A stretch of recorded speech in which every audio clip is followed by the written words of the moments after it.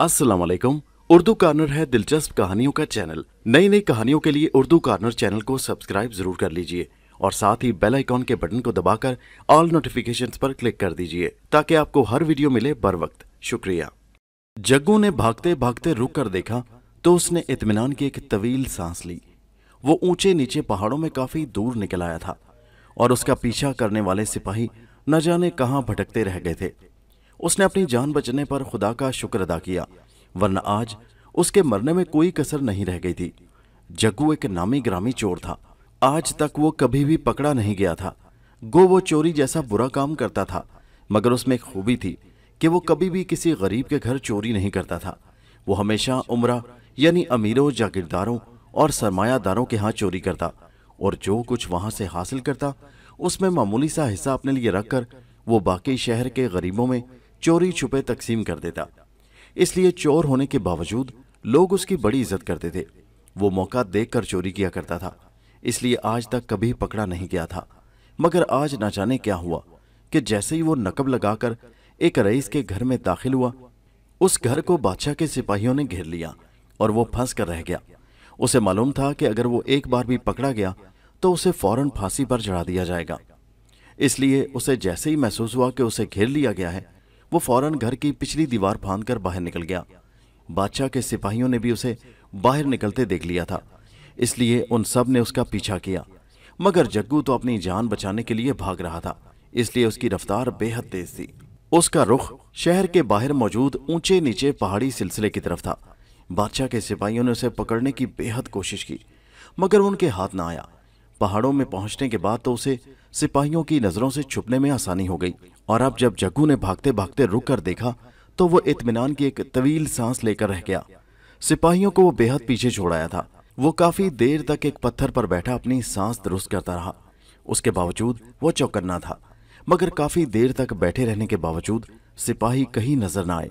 तो वो समझ गया कि सिपाही उसका पीछा तर्क करके वापस चले गए होंगे। अब वापस शहर में जाने का तो सवाल ही पैदा नहीं होता था, क्योंकि सिपाही उसे अच्छी तरह पहचान चुके थे। अब अगर वो वापस शहर में जाता तो फ़ौरन पकड़ा जाता। इसलिए उसने किसी और मुल्क में जाने का फैसला कर लिया। उसे मालूम था कि इन पहाड़ियों के पीछे एक और मुल्क मौजूद है, जो बेहद खुशहाल और जरखेज मुल्क है। चुनाचे वो उठा और उस मुल्क की तरफ़ चल पड़ा। ये पहाड़ियाँ बेहद सुनसान थीं। वो तकरीबन चार दिन तक उन पहाड़ों में भटकता फिरा। चश्मों का पानी पी पी कर उसने चार दिन तक गुजारा किया। पहाड़ियाँ चूँकि बिल्कुल खुश्क थीं, उसको वहाँ खाने को कुछ नहीं मिल सका। भूख के मारे उसका बुरा हाल था, मगर वो गिरता, पड़ता, आगे बढ़ता रहा। फिर एक दिन जब वो एक पहाड़ी से नीम बेहोशी के आलम में उतर रहा था तो उसे सामने एक शहर नज़र आया। शहर के बाहर एक वसी मैदान था, जिसमें बेशुमार लोग इकट्ठे हो रहे थे। जग्गू भी गिरता, पड़ता, पहाड़ी से नीचे उतरा, और फिर लड़खड़ाते हुए कदमों से उस मजमा की तरफ़ बढ़ता चला गया। मजमा के करीब पहुंचकर वो भूख से निढाल होकर गिर पड़ा। चंद लोगों ने उसे गिरते देखकर उठाया, और फिर एक आदमी शहर से उसके लिए दूध ले आया। जग्गू ने दिल भर कर दूध पिया तो उसके होशो हवास वापस आए और वो उठ खड़ा हुआ। उसने लोगों के पूछने पर बतलाया कि वो एक मुसाफिर है और इन पहाड़ियों में रास्ता भूल गया है। उसने जब लोगों से वहाँ इकट्ठे होने के मुतालिक पूछा तो लोगों ने उसे बताया कि उनके मुल्क का बादशाह कल मर गया है और वो अब नए बादशाह के चुनाव के लिए यहाँ इकट्ठे हो रहे हैं। उनके रिवाज के मुताबिक जब इस मुल्क का बादशाह मर जाता है तो दूसरे दिन सब लोग इस मैदान में इकट्ठे हो जाते हैं और फिर एक मुकद्दस परिंदा हवा में उड़ाया जाता है। वो मुकद्दस परिंदा जिसके सर पर भी बैठ जाता है, उसे बादशाह चुन लिया जाता है। जग्गू ने यह सुनकर दिल में सोचा कि काश ये परिंदा उसके सर पर बैठ जाए तो वो भी बादशाह बनकर ऐश से ज़िंदगी गुजारे। मगर दूसरे लम्हे वो अपने इस ख्याल पर दिल ही दिल में हंस दिया। उसने सोचा कि वो तो एक मामूली सा चोर है, भला चोर भी कहीं बादशाह बन सकता है। मगर वो इस मैदान में इसलिए खड़ा रहा, ताकि देखे कि कौन खुश नसीब बादशाह बनता है। जब शहर के तमाम लोग वहाँ इकट्ठे हो गए तो वज़ीर आज़म ने सुर्ख रंग के पिंजरे का दरवाज़ा खोला और फिर उस पिंजरे से नीले रंग के एक छोटे से परिंदे ने सर बाहर निकाला। उसने अपनी चमकदार आँखों से इधर उधर देखा और फिर फुर से उड़ गया। मैदान में मौजूद तमाम लोग बड़े इश्तियाक से उसे देख रहे थे। परिंदा काफ़ी देर तक हवा में चक्कर खाता रहा और जैसे जैसे वो उड़ता रहा, लोगों की इश्तियाक भरी नज़रें उसके गिर्द घूमती रहीं।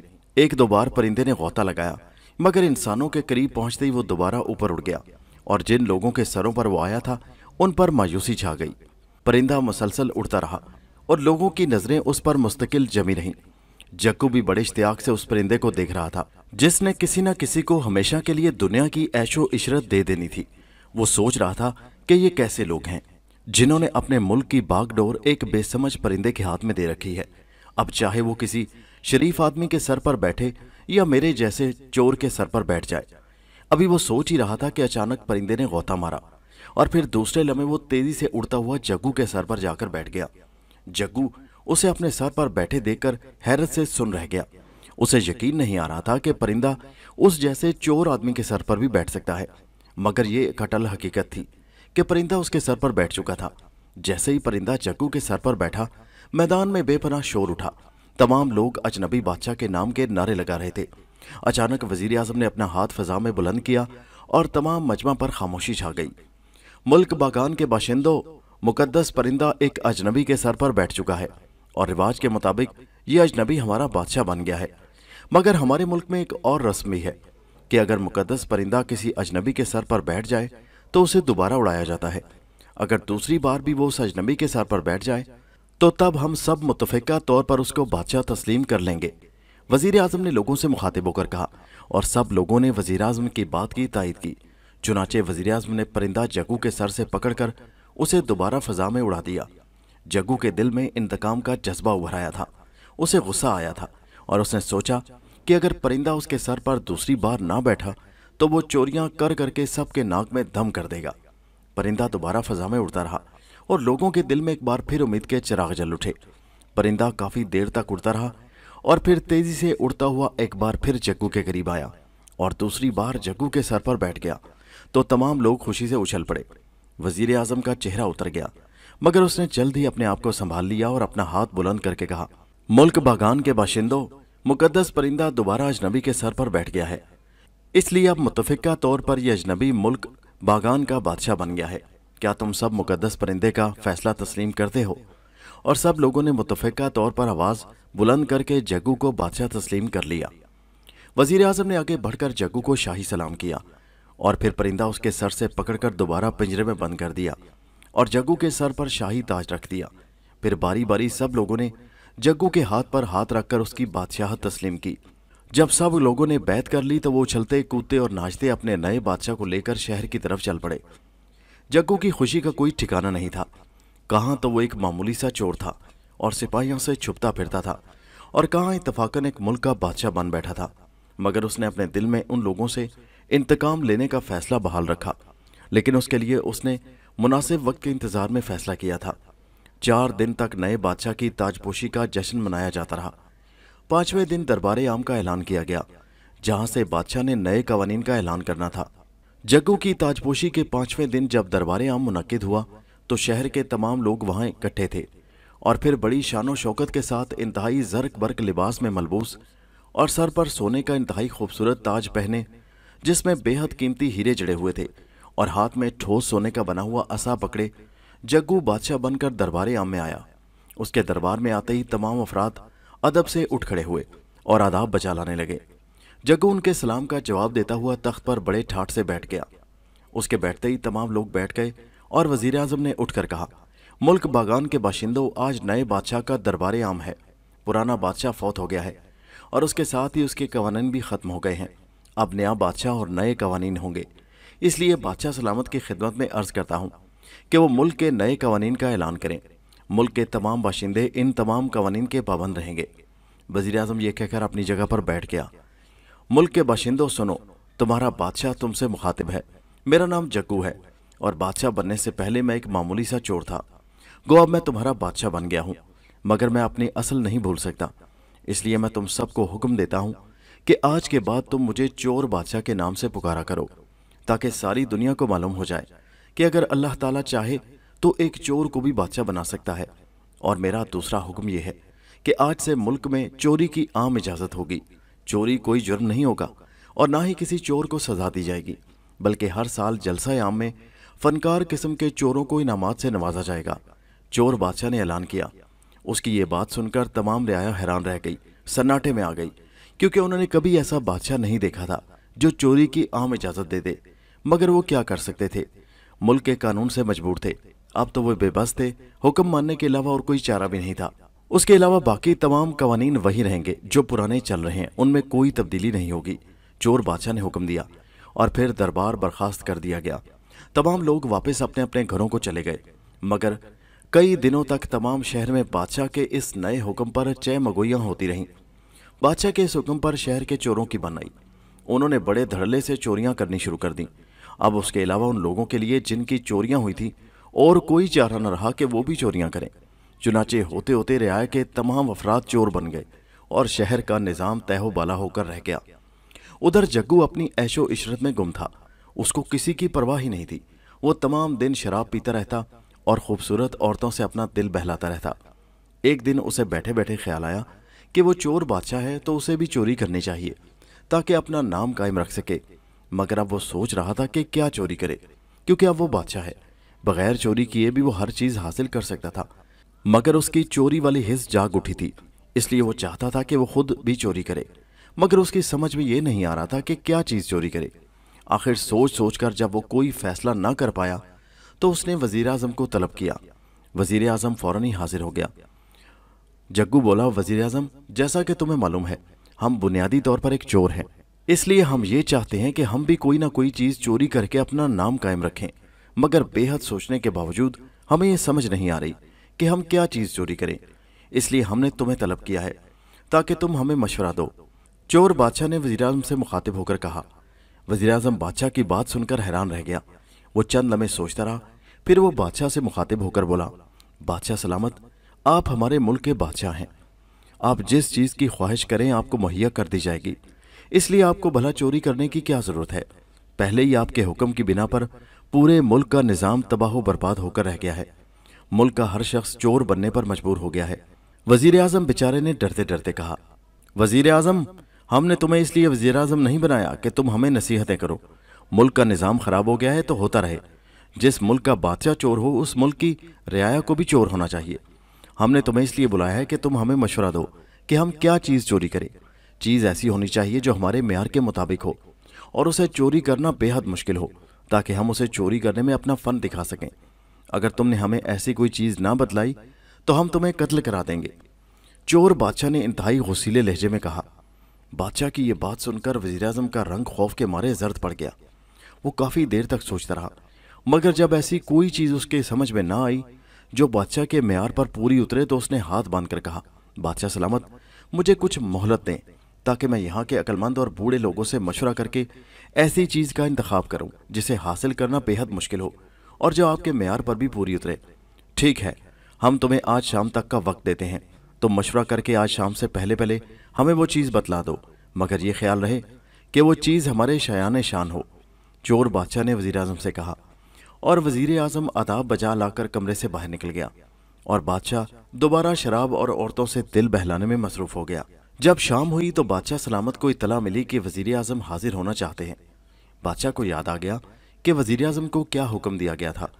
चुनाचे उसने फ़ौरन वज़ीर को बुलाने का हुक्म दिया। चंद लम्हों के बाद वज़ीर अजम बादशाह के हजूर में पहुँच गया। जब वो आदाब बजा लाकर बैठ गया तो बादशाह ने उससे मुखातिब होकर कहा वज़ीर अजम क्या तुमने वो चीज़ सोच ली है जिसको हमने चोरी करना है? जी हाँ हजूर आला मैंने शहर के अक्लमंदों से मशवरा करके आपके लिए एक ऐसी चीज़ का इंतखब किया है, जो बेहद मुश्किल है। और अगर आप उसे चोरी कर ले तो चोरों की दुनिया में आपके फ़न की धूम मच जाएगी। वज़ीर अजम ने मौदबाना लहजे में जवाब दिया, बतलाओ, जल्दी बतलाओ, वो कौन सी चीज़ है, जिसे हमने चोरी करना है? बादशाह ने इश्तियाक भरे लहजे में सवाल किया, हजूर बादशाह सलामत, हमारे शहर से चंद मील दूर एक सुर्ख रंग का पहाड़ है उस पहाड़ की एक गार में एक सात कोनों वाला हीरा मौजूद है। सुना है कि यह हीरा सदियों से उस गार में मौजूद है और एक सांप सदियों से उस हीरे की हिफाजत कर रहा है। बेशुमार लोगों ने उस हीरे को चोरी करना चाहा, मगर कोई भी कामयाब ना हो सका। हर शख्स अपनी जान से हाथ धो बैठा। उस हीरे के मतलब मशहूर है कि जिस शख्स के पास वो हीरा होगा, वो सात सल्तनतों का बादशाह बन जाएगा और उसका लकब शहनशाह होगा। अगर आप ये हीरा चोरी करने में कामयाब हो जाएँ तो उसका एक फ़ायदा तो ये होगा कि आपके नाम की धूम पूरी दुनिया में मच जाएगी। और दूसरा ये कि हीरा हासिल करते ही आप सात सल्तनतों के शहनशाह बन जाएँगे। वज़ीर अजम ने मोतबाना लहजे में तफसील बताई। बहुत खूब वज़ीर अजम बहुत खूब। तुम वाकई बेहद अक्लमंद शख्स हो। तुमने हमें एक ऐसी चीज़ बताई है जो वाकई नादर नायाब है। हम उस सात कोनों वाले हीरे को ज़रूर चोरी करेंगे और शहनशाह बन जाएँगे। चोर बादशाह ने खुश होते हुए जवाब दिया और उसकी बात सुनकर वज़ीर अजम ने इतमान की एक तवील सांस ली। उसने जानबूझकर ये तरकीब बतलाई थी, ताकि जग्गू उसे चोरी करने जाए तो ज़िंदा वापस ना आ सके और इस तरह एक चोर बादशाह से उनकी जान छूट जाए। क्योंकि उस बात का तो सबको यकीन था कि आज तक कोई भी शख्स जो उस हीरे को चुराने गया है ज़िंदा वापस नहीं आया। तो फिर बादशाह सलामत, मैं शहर में ऐलान करा दूँ कि हमारा बादशाह सात कोनों वाले हीरे को चुराने जा रहा है? वज़ीर अजम ने पूछा हाँ हाँ शहर में ऐलान करा दो। हम कल सुबह इस हीरे को चुराने के लिए रवाना होंगे।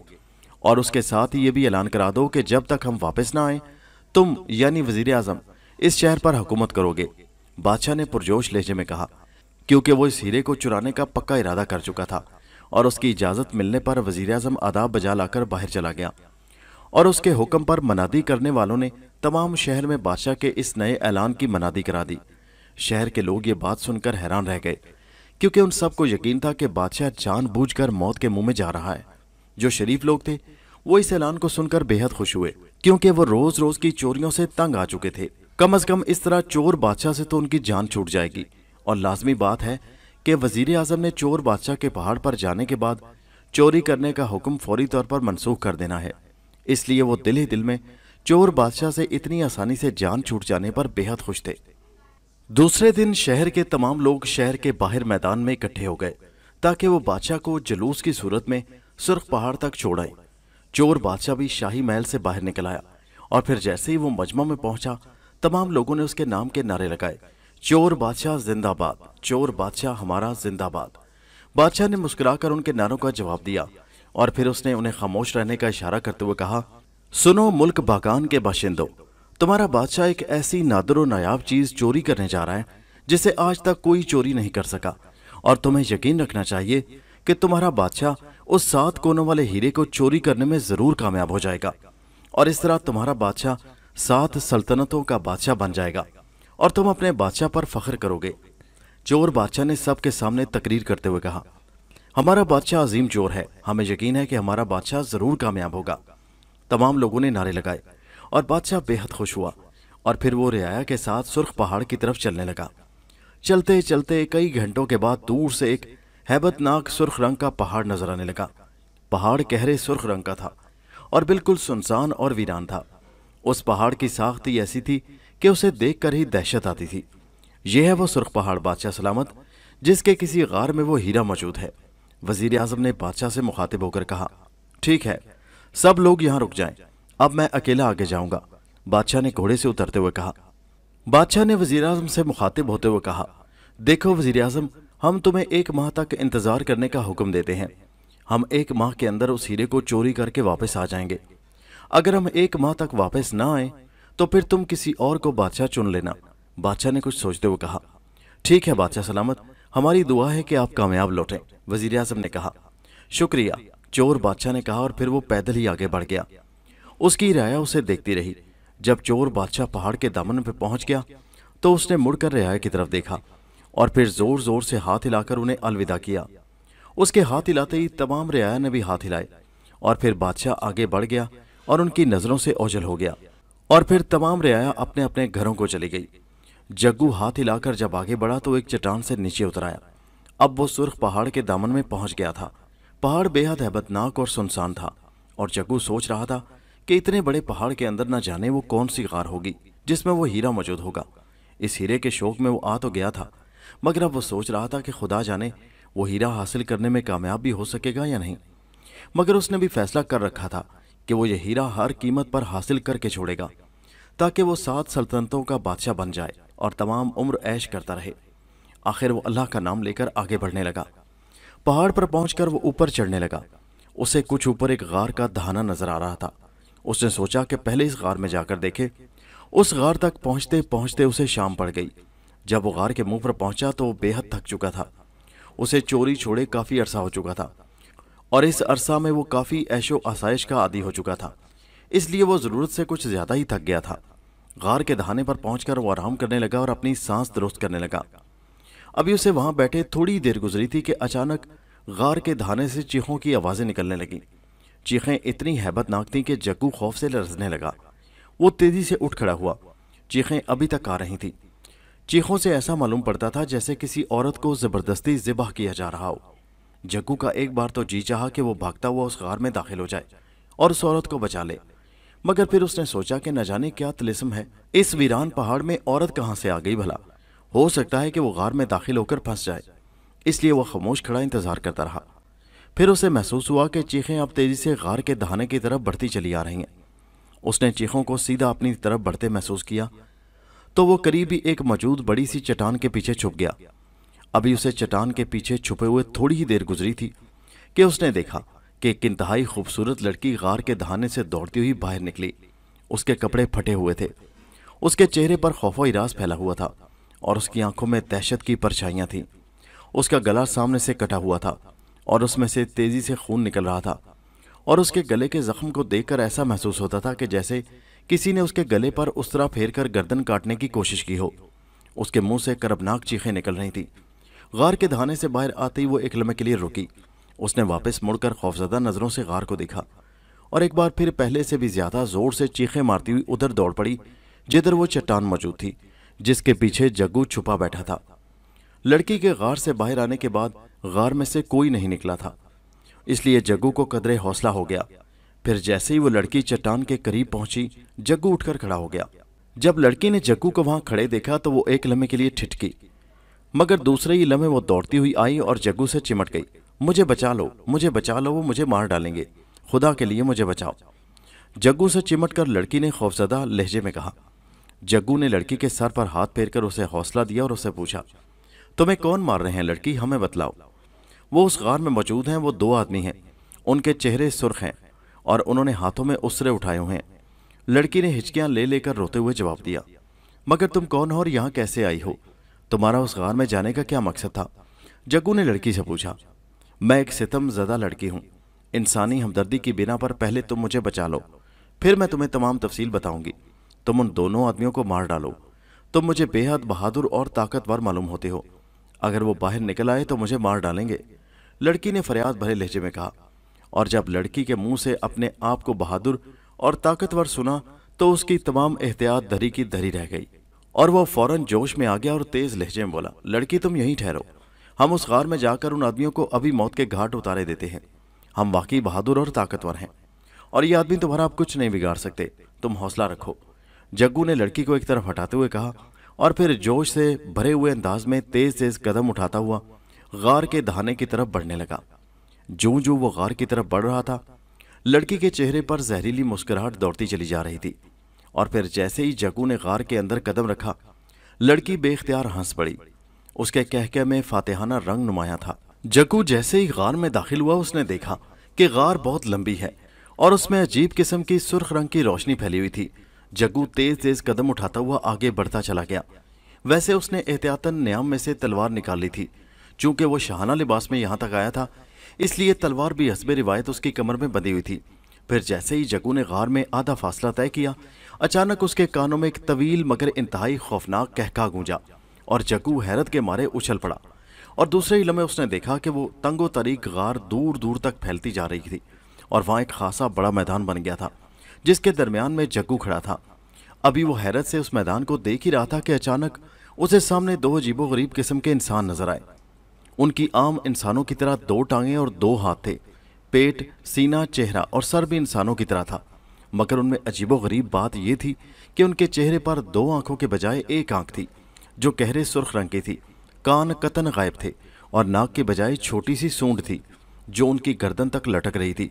सर पर छोटे छोटे चार सिंह थे। उन्होंने हाथों में अजीबो गरीब किस्म की लाठियाँ उठाई हुई थी। लाठियाँ बिल्कुल सांप की तरह थी। हत्या के सांप के मुँह से ज़ुबान भी बाहर निकली हुई थी, जिसमें से खून रिस रहा था। चोर बादशाह आ गया। आज जश्न मनाया जाएगा।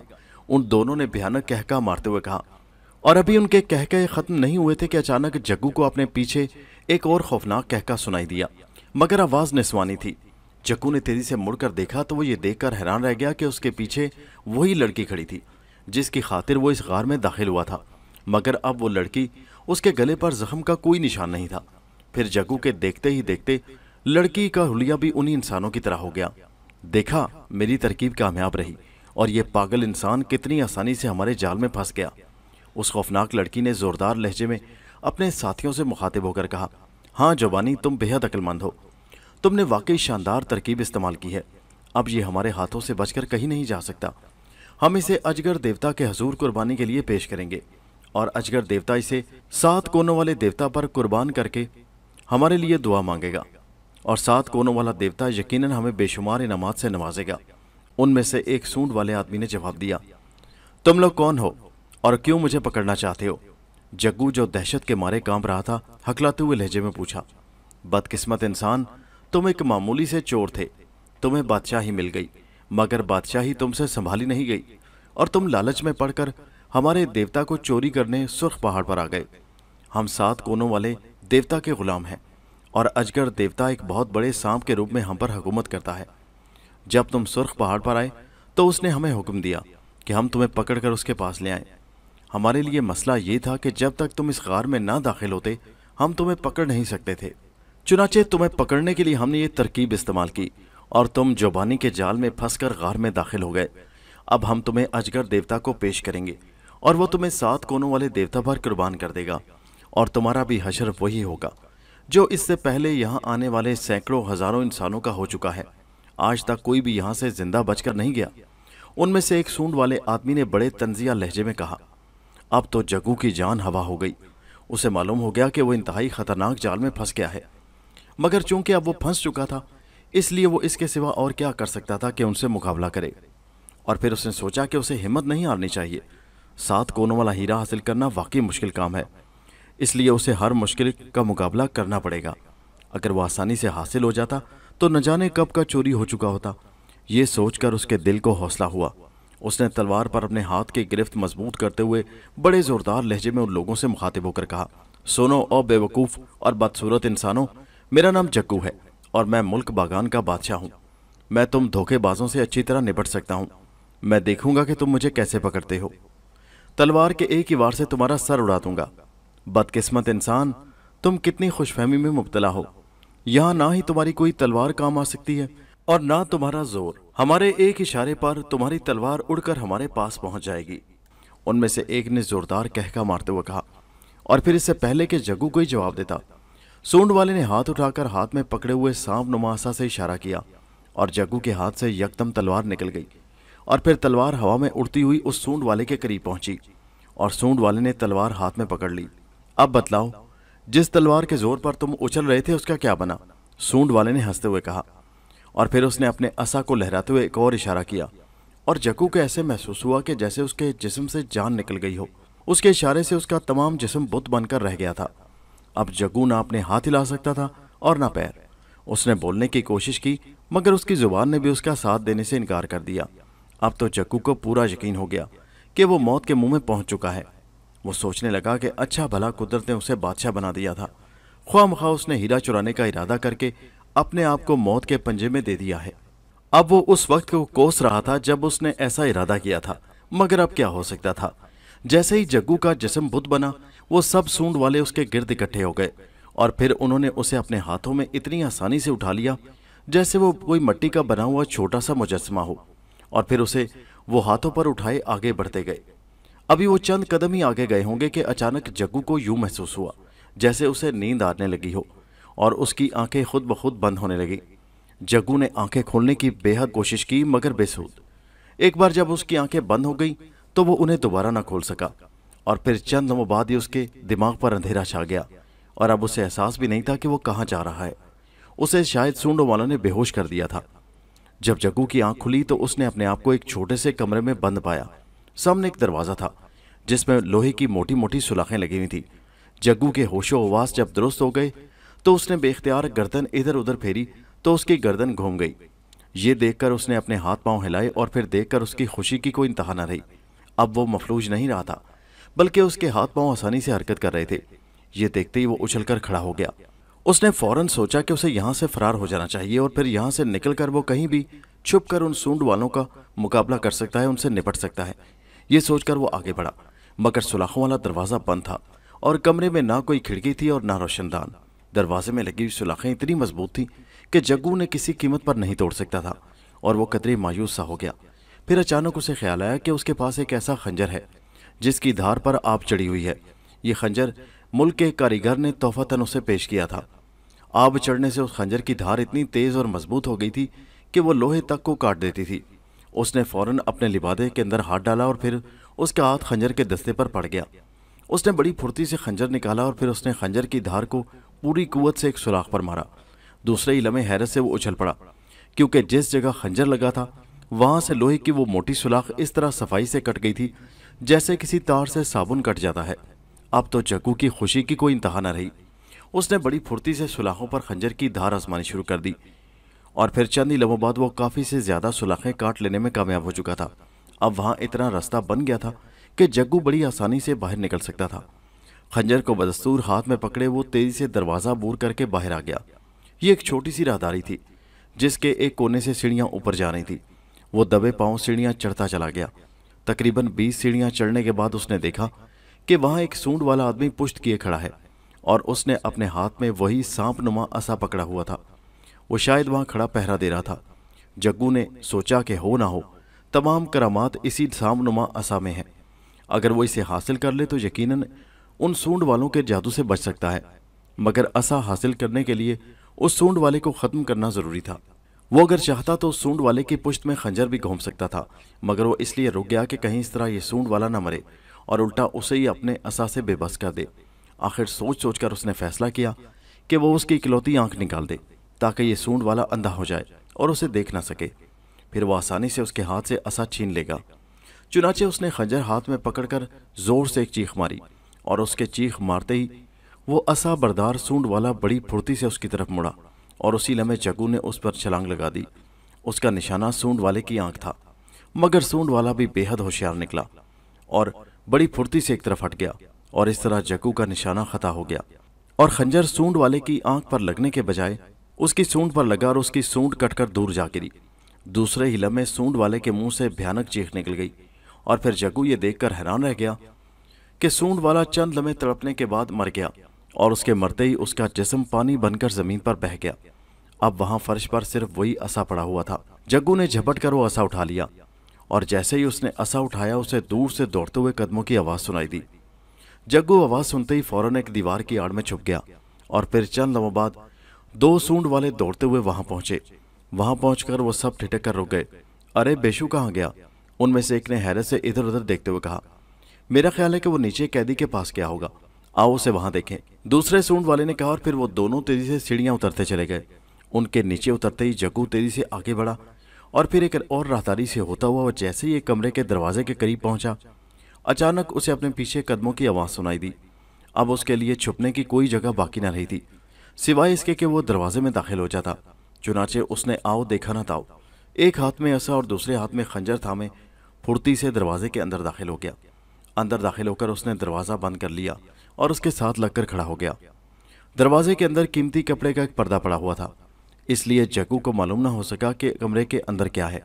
जब दौड़ते हुए कदमों की आवाज़ें दरवाजे के सामने से होकर आगे गुजर गईं तो उसने इतमान का एक तवील सांस लिया और फिर आहिस्ता से पर्दा हटाकर कमरे में देखा। यह एक इंतहाई खूबसूरत कमरा था, जो बेहतरीन अंदाज में सजा हुआ था। कमरे के दरमियान में एक नहायत खूबसूरत पलंग बिछा हुआ था और उस पलंग पर एक इंतहाई खूबसूरत सुनहरे बालों वाली लड़की सोई हुई थी। जग्गू उस लड़की को देखकर बेहद हैरान हुआ। पहले तो उसने सोचा कि कहीं ये भी पहली लड़की की तरह कोई धोखा ना हो, मगर लड़की के चेहरे पर छाई हुई मासूमियत देकर उसे अपना ख्याल बदलना पड़ा। जग्गू आहिस्ता आहिस्ता चलता हुआ पलंग की तरफ़ बढ़ा। वह अपनी तरफ़ से बड़ी एहतियात कर रहा था कि कोई आवाज़ ना पैदा हो, मगर अचानक उसका खंजर उसके हाथ से नीचे गिर पड़ा। खंजर के फर्श पर गिरने की आवाज़ से लड़की जागू पड़ी जग्गू ने तेज़ी से झुककर फर्श पर पड़ा हुआ खंजर उठा लिया। उधर लड़की ने भी उसे देख लिया था। जग्गू को देखते ही लड़की हैरत से उछलकर अपने बिस्तर पर बैठ गई। उसकी खूबसूरत आँखों से हैरत उमड़ी पड़ रही थी। तो तुम कौन हो? क्या तुम इंसान हो? लड़की ने बुखलाकर पूछा। उसकी आवाज़ बेहद सुरीली और मुतरनम थी। हाँ मैं इंसान हूँ, मगर क्या तुम तुम भी इंसान हो या कोई फरेब हो? जग्गू ने खंजर को हाथ में तोलते हुए पूछा। बड़ी मदद के बाद मैं अपने जैसे किसी इंसान को देख रही हूँ। न जाने तुम कैसे इन जादूगरों के हाथों से बचकर यहाँ तक आ गए हो? लड़की ने खुश होते हुए कहा। मुझे अपने मुतालिक बताओ लड़की, ताकि मेरा शक दूर हो। वरना मैं इस खंजर से तुम्हें कत्ल कर दूँगा। जक्कू ने कदरे सख्त लेचे में कहा, वो नहीं चाहता था कि पहले की तरह एक बार फिर किसी फरेब का शिकार हो जाए। तुम्हारा शक बजा है, मगर मैं तुम्हारी तरह इंसान हूँ और इन जादूगरों के हाथों में कैद हूँ। आज से कई साल पहले मैं अपने बाप और भाई के साथ सुर्ख पहाड़ पर सात कोनों वाला हीरा हासिल करने आई थी। यहाँ हम जैसे एक गार में दाखिल हुए, हमें सूंड वाले इंसानों ने घेर लिया और फिर वो हम सबको लेकर एक बहुत बड़े हाल में गए। वहाँ एक बहुत बड़े बुत के माथे में एक सात कोनों वाला खूबसूरत हीरा जड़ा हुआ था। वहाँ हर तरफ़ ही सूंड वाले मर्द और औरतें मौजूद थीं। उस बुत के करीब ही एक बहुत बड़ा मगर इंतहाई बूढ़ा सांप दुम पर खड़ा लहरा रहा था। उन सब सूंड वालों ने मेरे बाप और मेरे भाई को उस बुत के पैरों तले जिबा कर डाला और फिर उसका खून उस सांप ने पी लिया और गोश्त ये सूंड वाले खा गए मैं ये दर्दनाक मंजर देखकर बेहोश हो गई और जब मुझे होश आया तो मैं इस कमरे में थी। फिर थोड़ी देर बाद वो सांप भी इस कमरे में आ गया। और फिर मेरे देखते ही देखते उसने एक खूबसूरत नौजवान का रूप धार लिया। अब मैं ज़बरदस्ती उसकी बीवी बनी हुई हूँ। मुझे इस कमरे से बाहर निकलने का हुक्म नहीं है। जब भी उस सांप, जिसका नाम अजगर है, जी चाहता है, यहाँ आ जाता है और अपना दिल बहलाकर चला जाता है। उस लड़की ने जग्गू को तमाम तफसील बतलाई। अब जग्गू को उसकी बात का यकीन आ गया और फिर उसने भी अपने मुतलिक सब कुछ उस लड़की को बतला दिया। तुम बेहद बहादुर हो जग्गू, जो तुमने एक सूंड वाले को कत्ल करके उसका आशा छीन लिया। इस असा की मौजूदगी में उनका जादू तुम पर असर नहीं कर सकता। और ये सूंड वाले तब कत्ल हो सकते हैं जब इनकी सूंड कट जाए, लड़की ने उसे बतलाया। मैं इस तमाम तलिसम को ख़त्म करना चाहता हूँ। तुम्हारे ख्याल में मुझे क्या करना चाहिए? जग्गू ने पलंग पर बैठते हुए कहा यह तमाम तलिसम उसी अजगर का है। अगर तुम अजगर को ख़त्म करने में कामयाब हो जाओ तो हमारी यहाँ से जान छूट सकती है। मगर ये सोच लो कि अजगर की उम्र हज़ारों साल है और अब वो बेहद ताकतवर है। और उसके पास बेशुमार खुफिया ताकतें हैं। उसे ख़त्म करना बेहद मुश्किल है। लड़की ने जवाब दिया, बहरहाल मैं उसे ज़रूर ख़त्म कर दूँगा। चाहे उसके लिए मेरी जान ही क्यों ना चली जाए। जग्गू ने मज़बूत लहजे में कहा और फिर इससे पहले कि लड़की कोई जवाब देती, अचानक दूर से एक हल्की सी सरसराहट की आवाज़ सुनाई देने लगी। छुप जाओ, अजगर आ रहा है। अगर उसने तुम्हें देख लिया तो एक मिनट में हलाक कर देगा। लड़की ने खौफजदा लहजे में कहा, उसके चेहरे पर परेशानी के आसार नुमाया थे। मैं मसहरी के नीचे छुप जाता हूँ। तुम ऐसा करना कि उससे बातों बातों में पूछ लेना कि वो किस तरह मर सकता है। जग्गू ने लड़की के कान में सरगोशी की और फिर तेज़ी से मसहरी के नीचे रेंग गया। लड़की दोबारा मसहरी पर लेट गई और उसने अपनी आँखें बंद कर लीं। उसी लम्हे दरवाज़ा एक झटके से खुला और फिर जग्गू, जो मसहरी के नीचे से सब कुछ देख रहा था, एक इंतहाई बूढ़े और हैबतनाक सांप को देखकर खुद भी खौफजदा हो गया। सांप जैसे ही कमरे में दाखिल हुआ, उसने एक फेरी ली और दूसरे ही लम्हे वो एक खूबसूरत नौजवान के रूप में तब्दील हो गया। उसी लम्हे लड़की ने भी आँखें खोल दी और अजगर को मसहरी के करीब खड़े देखकर वो मुस्कुरा दी। अजगर मसहरी पर बैठ गया और लड़की उठकर बैठ गई। अजगर के चेहरे पर कदरे परेशानी और उलझन के आसार थे। क्या बात है अजगर? आज तुम कुछ परेशान नज़र आ रहे हो। लड़की ने लगावट भरे अंदाज में उससे पूछा हाँ जानम, आज मैं बेहद परेशान हूँ। एक तुम्हारी तरह का इंसान हमारे कैद खाने से निकल भागा है और वो मिल नहीं रहा। न जाने कहाँ गायब हो गया है। अजगर ने जवाब देते हुए कहा अरे तुम इतने बड़े जादूगर और ताकतवर हो। एक इंसान की वजह से परेशान हो। क्या तुम अपनी मख्फी ताकतों के ज़रिए उसे तलाश नहीं कर सकते? जानम ने प्यार से उसके गले में बाहें डालते हुए कहा यह कोई बड़ी बात नहीं है। दरअसल उसने मेरे एक आदमी को मारकर उसे तिलस्माती असा छीन लिया है। और जब तक ये तिलस्माती असा उसके पास है, उसे मैं देख नहीं सकता। इसलिए मैं बेहद परेशान हूँ। अजगर ने मुस्कुराते हुए जवाब दिया, ओहो, ये तो बहुत बुरा हुआ। इस तरह तो वो आदमी तुम्हें भी मार डालेगा। अब तो मैं तुमसे मोहब्बत करने लग गई हूँ। अगर तुम्हें कुछ हो गया तो मैं क्या करूँगी? लड़की ने बेहद परेशान लहजा बनाते हुए कहा, अरे नहीं जानम, तुम मेरी तरफ़ से कतई बेफिक्र हो, मुझे कोई नहीं मार सकता। यह एक वक्ती परेशानी है। थोड़ी देर बाद इसका पता चल ही जाएगा। बचकर आखिर कहाँ जाएगा? अजगर ने लड़की की ठोड़ी पकड़कर उसका चेहरा ऊपर उठाते हुए कहा, नहीं अजगर, तुम्हारी आज की बात ने मुझे परेशान कर दिया है। अब मेरे दिल में खटका लगा रहेगा। मेरा दिल हर वक्त डरता रहेगा। जानम ने झूठ मूठ रूटते हुए कहा, अरे जानम, तुम तो ख्वाम खा परेशानी में मुबतला हो जाती हो।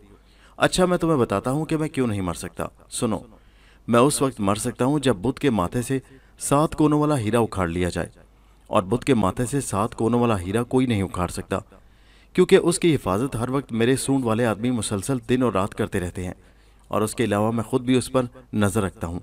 अजगर ने उसे तफसील समझाई, ये तो कुछ भी नहीं है। अगर कोई चलाक और बहादुर शख्स हो तो वो आसानी से वो हीरा उखाड़ सकता है।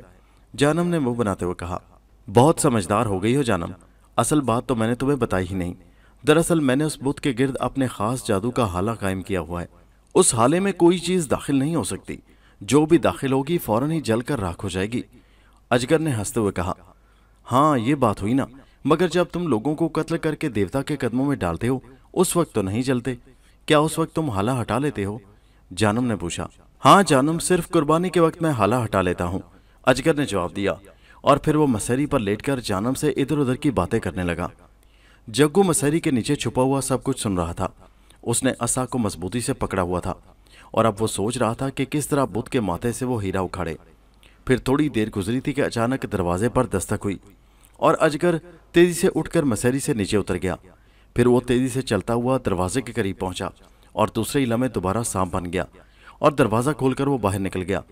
अजगर के बाहर जाने के थोड़ी देर बाद ही जग्गू मसहरी के नीचे से निकल आया। सुन लिया तुमने जग्गू? जानम ने मुस्कुराते हुए जग्गू से पूछा हाँ जानम, सब कुछ सुन लिया है। तुमने वाकई बड़ी चालाकी से अजगर से सब कुछ उगलवा लिया है। अब और तो कोई मसला नहीं। अलबत्ता ये हाले वाला मसला खतरनाक है, जग्गू ने जवाब दिया। हाँ ये तो है। अब कोई और कुर्बानी का बकरा यहाँ आए और जब उसे जिबा करने लगे तो हाला खत्म हो सकता है। जानम ने फिक्रमंदाना लहजे में जवाब दिया, बहरहाल ठीक है, मैं कोशिश करता हूँ कि कोई ऐसी तरकीब आजमाऊं, जिससे हाला खत्म हो जाए, जग्गू ने दरवाजे की तरफ़ बढ़ते हुए कहा। जग्गू, मेरी दो बातें याद रखना। एक तो इस असा को अपने आप से अलहदा ना करना, दूसरा बुद्ध पर वार करने से पहले खुदा से दुआ ज़रूर मांग लेना। जानम ने मसहरी से नीचे उतरकर जग्गू की पुश्त पर हाथ रखते हुए कहा, बेफिक्र रहो जानम, मैं इंशाल्लाह ज़रूर कामयाब होऊँगा, बस तुम मेरे लिए दुआ करती रहना। जग्गू ने उसके हाथ को अपने हाथ में लेते हुए मुस्कुराकर कहा, मेरी दुआएँ हर वक्त तुम्हारे साथ साथ रहेंगी, जग्गू। खुदा हाफिज। जानम ने प्यार से उसका हाथ दबाते हुए कहा और फिर जग्गू आहिस्ता से कमरे से बाहर निकल गया। हाल कमरे में तमाम सूंड वाले मर्द और औरतें इकट्ठी थी। अजगर भी सांप के रूप में वहाँ मौजूद था और उसकी आँखों से शोले निकल रहे थे। तमाम सूंड वाले सर झुकाए खड़े थे।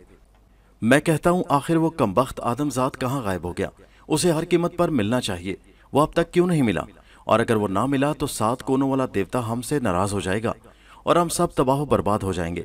अजगर ने इंसानी आवाज़ में सूंड वालों से मुखातिब होकर कहा, क्या कह सकते हैं अजगर देवता? वैसे एक बात तो है कि वो हमारे इल्म के बगैर सुर्ख पहाड़ से बाहर नहीं जा सकता। होगा तो वो यहीं कहीं। अब उसके पास असा मौजूद है और असा किसी तरह उससे अलहदा हो तो हम कामयाब हों।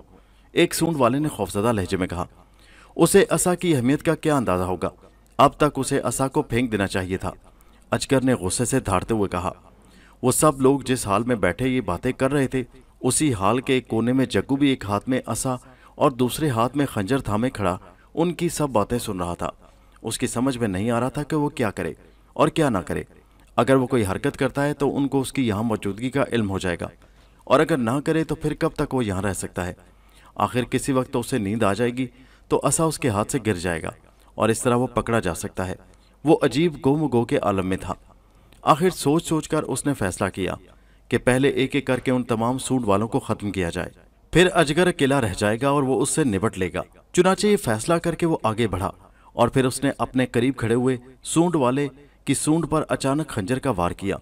वार इतना भरपूर था कि उसकी सूंड कटकर एक तरफ़ जा गिरी। दूसरे ही लम्हे वो आदमी फर्श पर गिरकर तड़पने लगा और चंद ही लम्हों में वो पानी में तब्दील होकर बह गया। उस आदमी को मरते देखकर सब सूंड वाले चौंक पड़े। वो यही है, वो यही है। उसने केशु को मार डाला है। मैंने उसे पकड़ लिया है। भागोरों ने चीख कर कहा और फिर इससे पहले कि जग्गू उसके पंजे से निकलता, सब सूंड वालों ने उस पर हमला कर दिया और फिर वो उसे नीचे गिराने में कामयाब हो गए और खंजर और असा जग्गू के हाथ से निकल गया। उधर सूंड वालों के उस पर चढ़ने से उसका दम घुटने लगा और फिर उसने डूबते हुए जहन से अजगर का खौफनाक कहका सुना। उसके बाद उसके जहन पर तारीकी छा गई। वो बेहोश हो चुका था। दोस्तों, ये दिलचस्प और हैरतनाक कहानी अभी जारी है। इसका दूसरा और आखिरी हिस्सा नेक्स्ट वीडियो में मुलाहजा कीजिए, जिसका लिंक इसी वीडियो के नीचे डिस्क्रिप्शन में मौजूद है। उस लिंक पर क्लिक कीजिए और इस दिलचस्प कहानी के दूसरे और आखिरी हिस्से पर पहुँच जाइए मगर दूसरा हिस्सा सुनने से पहले इस कहानी के बारे में अपनी कीमती राय कमेंट की शक्ल में देना मत भूलिए। और हमारे चैनल उर्दू कार्नर को सब्सक्राइब ज़रूर कीजिए। शुक्रिया।